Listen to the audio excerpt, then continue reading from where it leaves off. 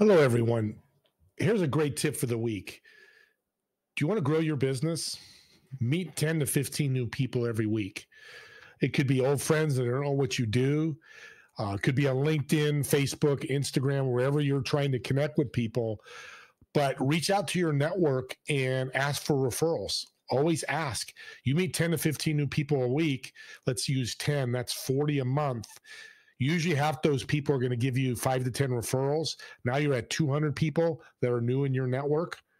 I've always said, if you know me, know me on my podcast, your network's your net worth. Well, we're in a people asset game. You need people. But what a better way uh, to grow your business, scale your business, or just grow is meeting new people. And it could be 15 minutes, 10 minutes, it doesn't matter. But add 10 and 10 to 15 new people to your network and you'll see massive growth in your business.